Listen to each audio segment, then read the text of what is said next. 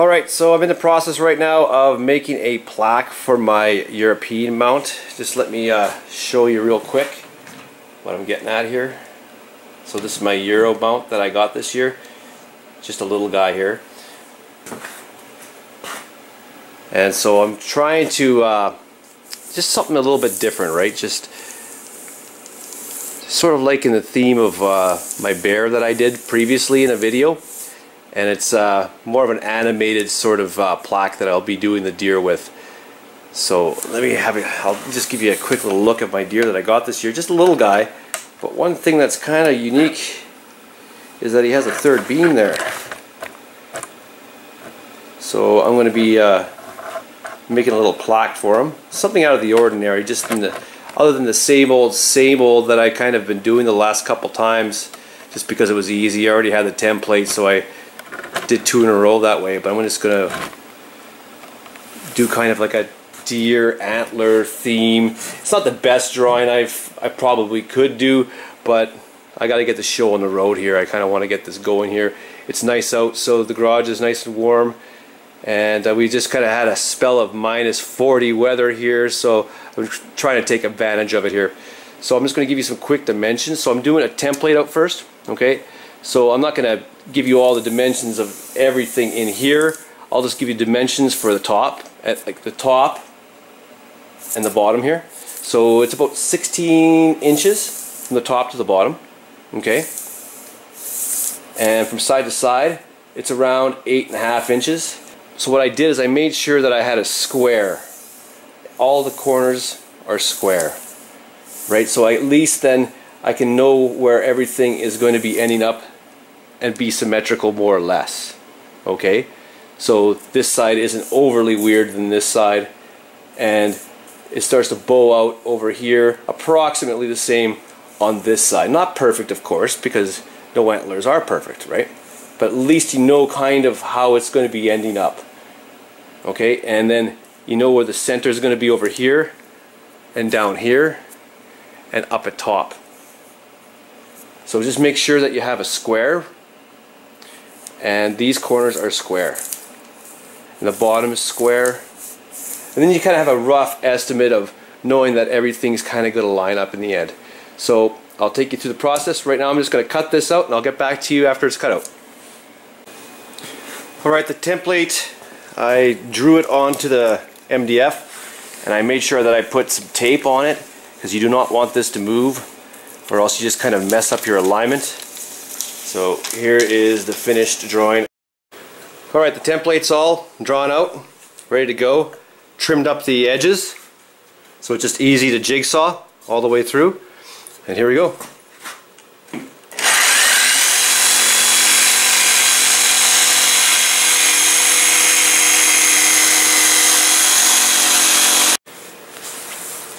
So I've trimmed out the exterior all the way around the edges and now I'm just going to be getting into the inside here. This is where the fun will begin, I guess, eh? This is going to be slow and arduous, so I'm not going to uh, take you through the process of really cutting this, spare you the agony of watching me uh, cut all these.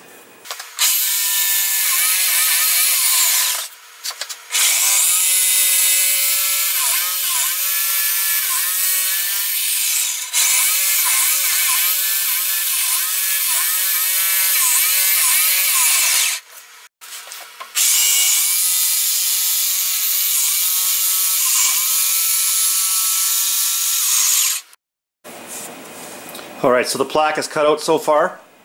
It's looking alright. Right now I'm just taking it on a sanding disc right now on my drill press.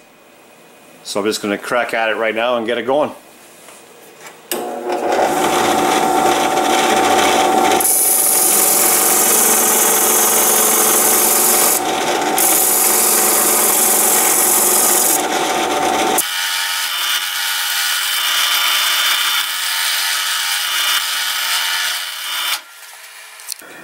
So I finished the sides sanding off the drill press over here. Now I'm just going to start the interior. And here we go.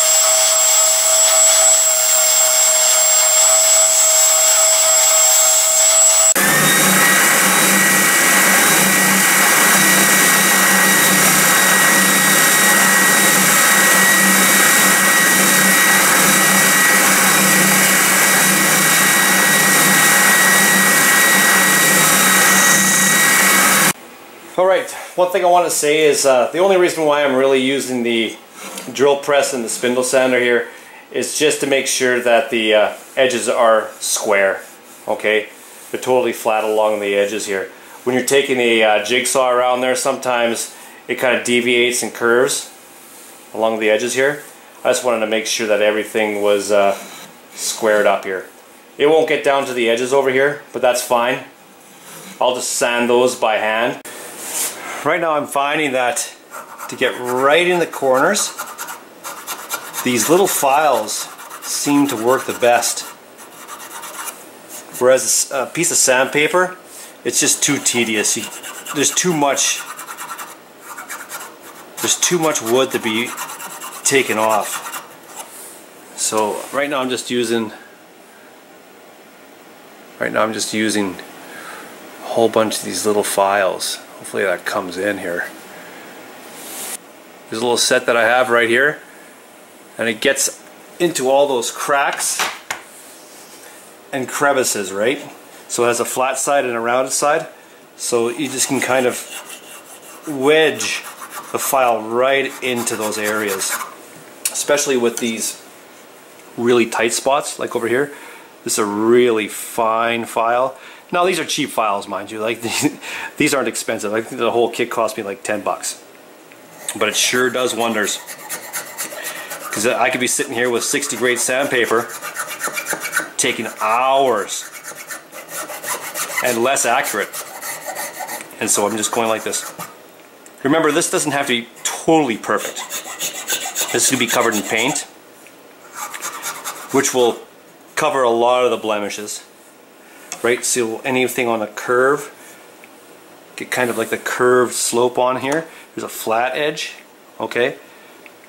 And there's a curved edge. So the curved edge just kind of go like this.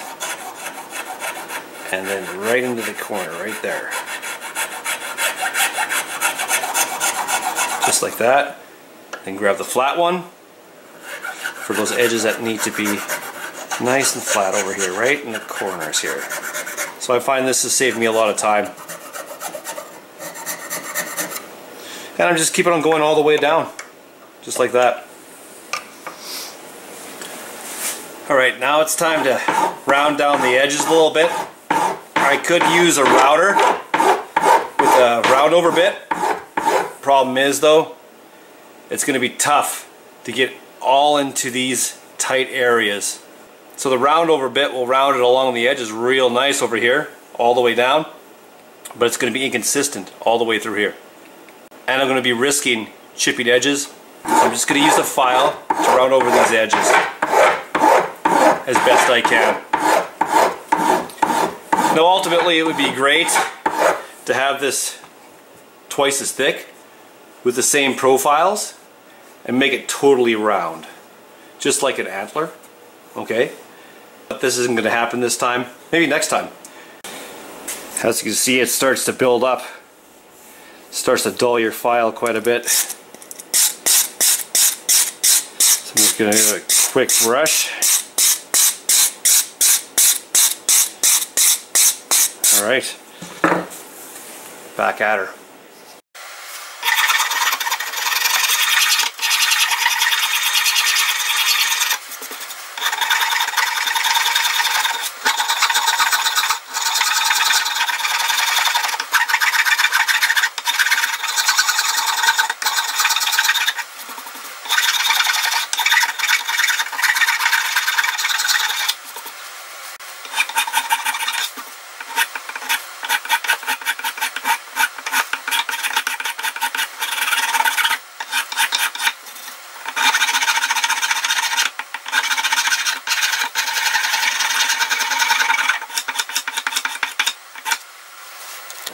So overall looks pretty good. The rounded edges soften it up a little bit. Now maybe I'm thinking about uh, some ridges, right? To kind of portray the ridges that you have in an actual deer antler. Maybe uh, carve some lines into here. Nothing overpowering, you know what I mean? Because it isn't uh, totally round, so I don't want it to look too tacky. If it was round, then you can actually start doing some serious business on this. But uh, yeah, just to kind of accent it a little bit, eh? Some lines over here. So I'll carve those in, shape them out, and get back to you when that happens. Alright, so I bit the bullet. I started carving out a little bit of accent, texture. May have just destroyed my project, but you never know, right? So you just gotta uh, try it out. And uh, here we go, folks.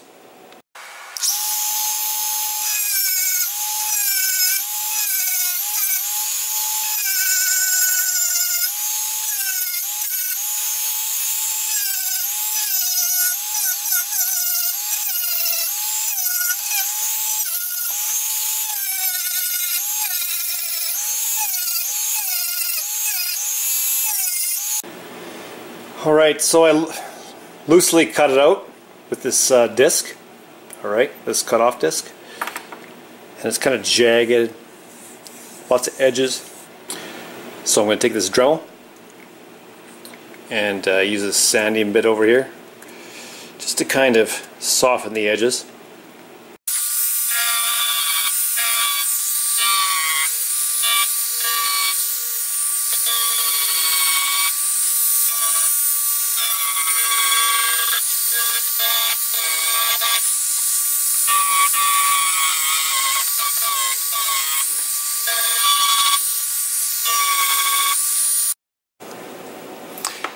All right, so basically,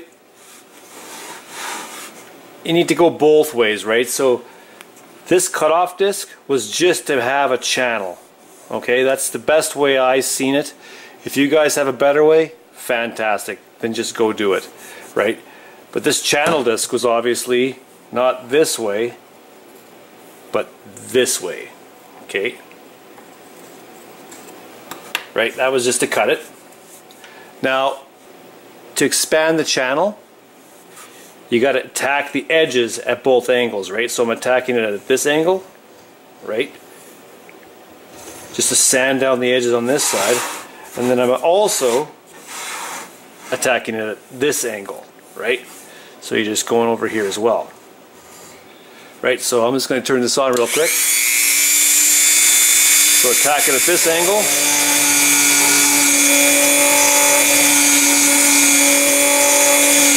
right? And also attack at this angle as well. Just to get the uh, channel a little bit more defined, less rough edges, and a little deeper and wider, okay? Hopefully this is coming out on audio. Same with this. Kind of rough around the edges, so you just kind of slowly pick away at it. Same with this one. Attack it right over here. Right, flip it around.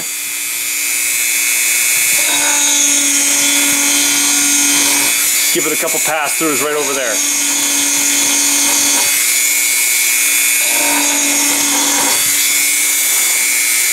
Now you can see, I'm going to point out where I screwed up.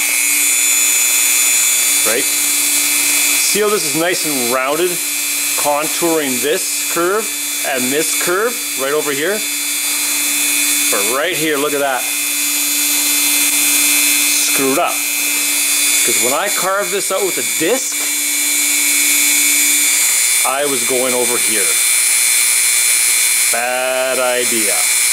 And then I went up, up, up, and over here. Nope. I should have taken the disc.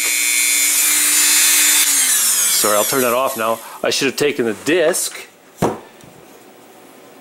and rounded it this way. But instead, I took the disc and rounded it this way.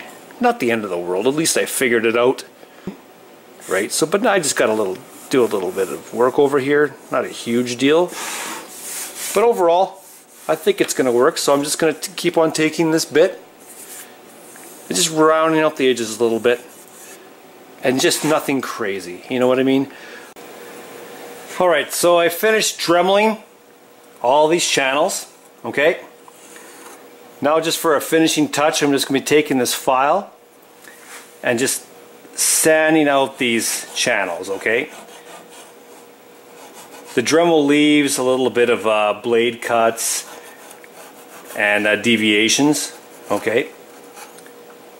And little inconsistencies. So this file will take care of that. So I'm just taking the tip of this file, okay, and just wedging it in there. So I'm just taking it at this angle and this angle, right? Because it's more like a V channel, all right? So I'm just sanding it out all the way along this project. All right. Then after I sand it out with the file as best I can, I take some 150 grain sandpaper and just follow. And just follow where the file's left. Okay? Because there's no way that file is 150 grit sandpaper. And it, I just give it a little bit of a finishing touch all the way through. It just helps it out in the long run. And you'll also find along the sides right here, right? With the spindle sander and the drill press, there's going to be some ridges all the way along here. Because that's probably like 80 grit. Hopefully this is coming out in video. So I'm going to take that 80 grit sand and just round it all the way through here. I'm going to flip it over. And so whatever needs to be sanded on this side, it's mainly flat. Okay? There's sharp edges all the way through here, which is fine. So I just want to sand this so it's a little bit porous to accept the stain. So I'm going to try staining this. Generally speaking, stain doesn't really adhere to MDF all that well. The only paint that I do have is black, but I did that for the bear last time and I don't want to have that hang on the wall again the same exact color. Not that this wouldn't be that bad of an idea for being black because it would contrast with the white skull. But uh, I'm gonna I'm gonna try staining it, see how it works. I'm gonna take a test piece, see if it works okay, and uh, just kind of uh, fly by the seat of my pants with a stain and see how it works. And worst case scenario, just restain it again and uh, live and learn, right? All right, so I'll catch you on the flip side. I'm just gonna clean all this up and take off all the dust. Make sure this is uh, perfect for the stain. All right. All right, so I brushed off the MDF as best I could and wiped it off. So now I'm going to apply the stain to all the area. Let it soak in all the cracks and crevices. Apply this stain. I figured a brown would have been nice. Something a little bit different. You know, generally speaking, antlers are brownish anyway. It's Not to say that they're this shade of brown. So I got some Varathane wood stain. This isn't the gel, it's just a regular stain. Uh, what does it say here? Ipswich Pine. I'll show you the canister before I'm done here. Ipswich Pine. I am not even sure what that is, but it's a pretty good color actually. It looks like the uh, the antlers are taking him pretty good here. Generally with stain, it, especially if it's a hardwood, it uh, it really beads up on top quite a bit, and then you got to wipe it off afterwards. But uh, I'm going to try to let this settle in there as much as possible. Looks like it's absorbing it pretty good. Well, it's particle board, right? But uh, I was, I've never stained particle board before, so I, of course, like everybody else, decided to Google it. And everybody was like, oh, it doesn't uh, take stain very well. But I'm like, uh, I don't know. Look at it. It's just absorbing it readily. Just like any particle board, I'd assume, would take it. fairly readily. So I'm just going to continue on like this. And it's doing a great job taking it on. I'm not sure what the finished product's to leave. You know, usually you just uh, brush this on and have to wipe it off because it beads up. Like say if you're doing maple or anything like that, you let it set for maybe five minutes or something like that, depending on the temperature outside. You let it set for five minutes and then you wipe it off because you wouldn't necessarily want it to be that dark. So I'm going to carry on, take you on the process after I'm done here and uh, see where I screwed up. Alright, I'll talk to you in a few minutes. Alright, here's the plaque after the first staining. It looks pretty good, you know. The stain took pretty well all the way along the edges on the back. You can still see some of the MDF kind of grain to it, but that's not all that bad actually. I thought it would be a lot more difficult to uh, stain the way the reviews are going on the internet there. You know, it sounded like it would be like blotchy or it wouldn't adhere to it or anything like that. I figured, well, maybe it'd be because of the glue. You know what I mean? That's all in here. But uh, no, it looks good. Fairly even. You know, there may have been spots that I wasn't able to mop up with a paper towel quickly enough. But it really absorbed quite uh, evenly. So I'm pretty happy. I'll probably do one more light coat. I'll drench it real good and wipe it off real well just so I didn't miss anything, right? You can see along the sides here, like on the insides, it looks a little bit lighter. Now that's because of the crappy uh, sand job, I'm sure. Thus it just didn't uh, adhere too much on the inside. Let's see if it comes out on the, I'm looking through the monitor right now. But uh, yeah, no, it's, so overall, I think this is pretty nice. I think this is better than a paint job almost. You know, if you're trying to avoid the the graininess, you know what I mean? Like it has no grain per se, but it has like a sort of a graininess of MDF, which I kind of like. You know, um, no, granted this if if this was say maple or bubinga or any other type of wood, it would have been way better, of course, right? Because you'd see a lot of great grain, which would almost like resemble the antlers, right? So let's take a set of antlers. You know, like um, you know, the graininess of an antler. You know, that'd be pretty cool to add in there. You know, um, what about this whitetail? Look at these beautiful antlers I got from Brad Bast.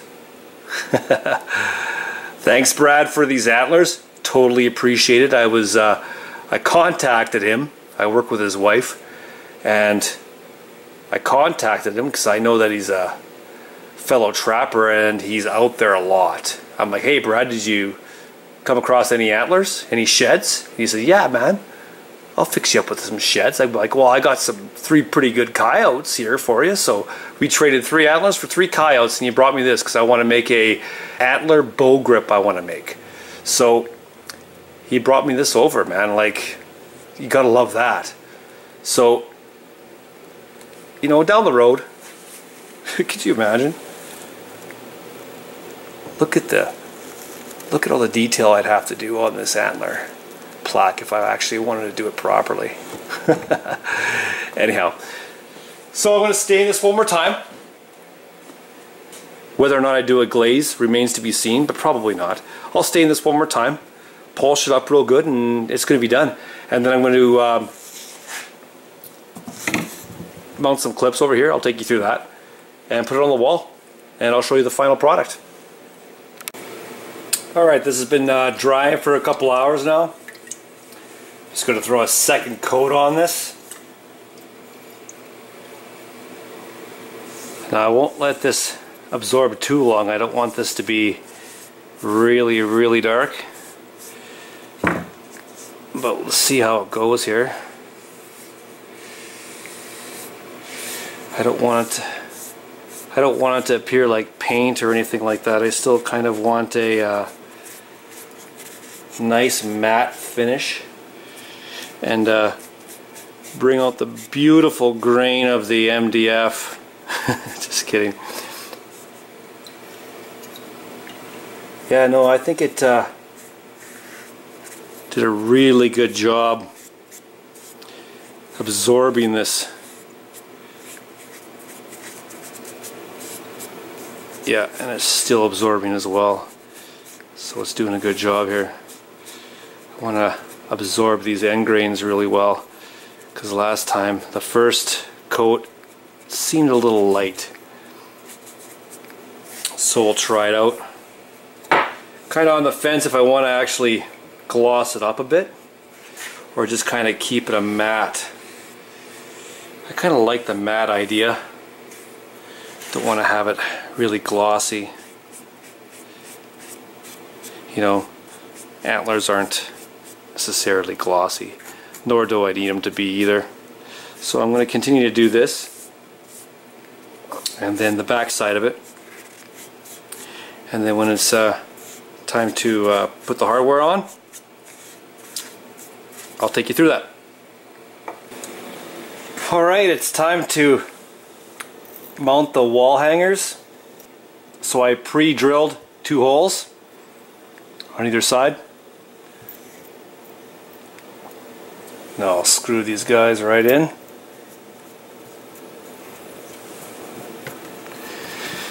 Can't wait to get this on the wall.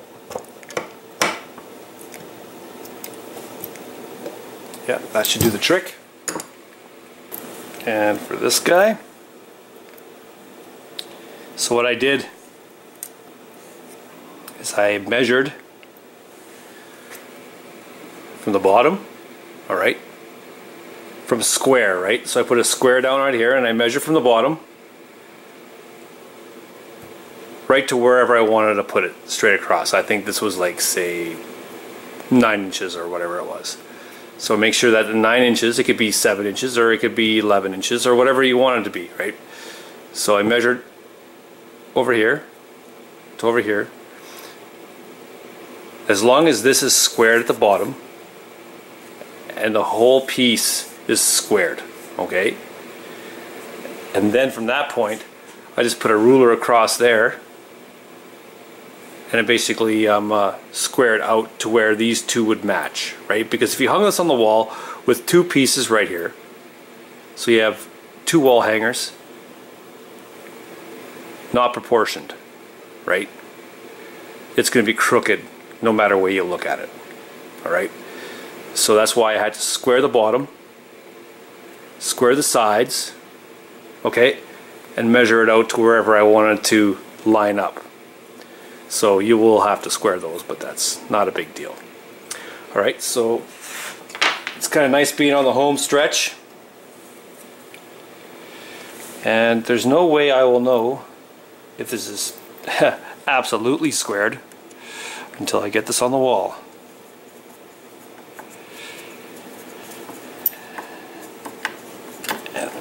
There we go. Alright, so I got it finally hanging up on the wall. Looks pretty good. I did put a uh, final uh, clear coat coating on it. I was using this this Minwax tung oil. Alright, did a pretty good job.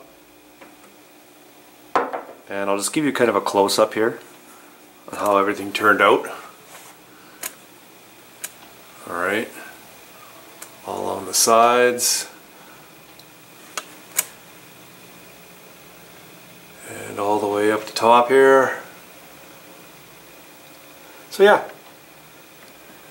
Not too shabby. So thanks for uh, putting up with such a long video. Till the next one. Alright take care